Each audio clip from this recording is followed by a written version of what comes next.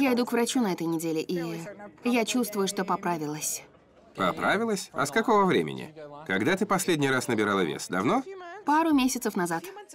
Несколько месяцев назад я внезапно получила плохую новость. Узнала, что у меня преддиабетное состояние. Это пошатнуло мою уверенность в себе, я испугалась. Вместо того, чтобы начать действовать, я старалась всеми способами отгородиться от этой проблемы. Но ведь такое поведение противоречит здравому смыслу. Узнав о проблеме, люди пытаются решить ее сразу же, но я ничего не предприняла. Не думаю, что я уж так сильно себе навредила, но я не предприняла меры, которые должна была бы предпринять. Мой секрет – физические нагрузки. Пробежки 100-150 километров в неделю. Это из-за синдрома «Вечно голодный».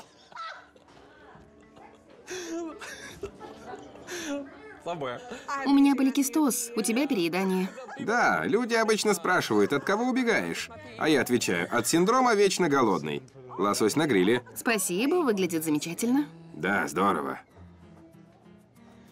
И сэндвич со свининой. Спасибо. Приятного аппетита. Если вдруг э, вам что-нибудь понадобится, зовите. Да, спасибо. Приятного аппетита.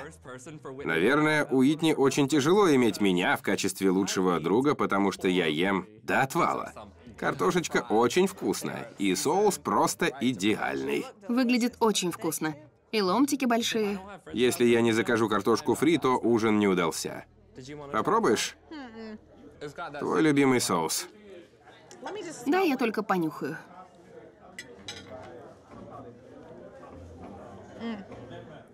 Уитни знает мои привычки в еде еще с юности. Она знает, кто я, и потому ничему не удивляется, и не думает, что я заказываю что-то ей на зло, потому что мне это можно, а ей нельзя. Попробуй кусочек. Нет, потому что если я съем одну, мне сразу же захочется вторую. Откуси кусочек, быстро прожуй, проглоти, и тут же заешь лососем. Так ты ничего не заметишь и съешь всего пять лишних калорий. Максимум.